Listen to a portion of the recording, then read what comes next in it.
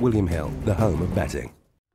255 at Chester, a really competitive handicap for you. Terrestrial television are showing this. The Roodee, we want a low draw here. And while there are plenty of horses who've got solid and sound claims, Big Johnny D, one of them, Foxtrot Romeo looks the horse to be on. Hard not to be taken with his comeback second last time at Newbury, where he ran a big mid-race move against a pace bias. That was on tacky ground that day behind Accession there at Newbury. Confirmed he goes on. It used to be rated a lot higher this, so a three-pound rise not a problem. Paul Hanagan does the steering, and if he gets a bit of luck, there's loads of pace on up front, he should really come through at the end and prove too classy.